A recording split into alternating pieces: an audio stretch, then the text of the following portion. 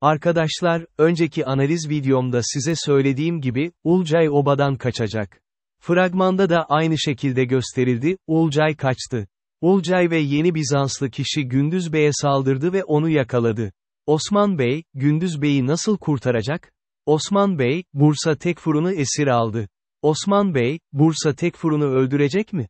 Bu konu hakkında bilgi edinmek için lütfen tüm videomuzu izleyin.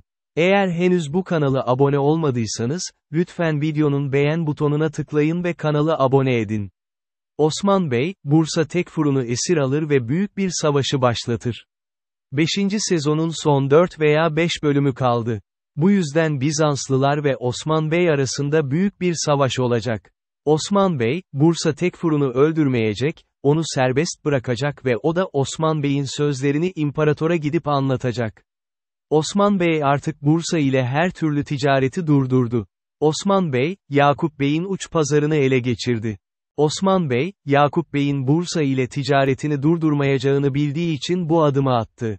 Önemli soru Gündüz Bey'in akıbeti ne olacak? Osman Bey, Alaaddin ve Orhan ile birlikte Gündüz Bey'i kurtarmak için obadan ayrıldılar. Gündüz Bey'in burada şehit olma ihtimali var. Ancak şu anda Osman Bey'in yanında büyük bir bey yoktur. Bu yüzden, bana öyle geliyor ki Gündüz Bey'e bir şey olmayacak, Osman Bey onu kurtaracak. Bala Hatun, Kadı Rükneddin'i öldüren kişinin İbrahim Bey veya onun eşi Melike Hatun tarafından emir verildiğinden şüpheleniyor. Yeni bölümde, Osman Bey, İbrahim Bey'in eşi Melike Hatun ve güvendiği adamı Ulcay'ın gerçek yüzünü gösterecek. Bu konu hakkındaki düşüncelerinizi yorumlara yazmayı unutmayın. Dizideki gelişmeler ve olaylar hakkında daha fazla ayrıntıyı ele almak için bir sonraki videoda buluşalım. Kanalımıza abone olmayı ve videomuzu beğenmeyi unutmayın.